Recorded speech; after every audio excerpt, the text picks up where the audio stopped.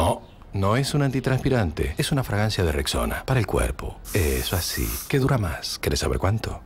Dura lo que tarda un granjero en esquilar una oveja. No, un poco más. Un poco más. Así está mejor. ¿Funcionó? Nuevo Rexona Men Body Spray. Al final del día oles tan bien como al principio.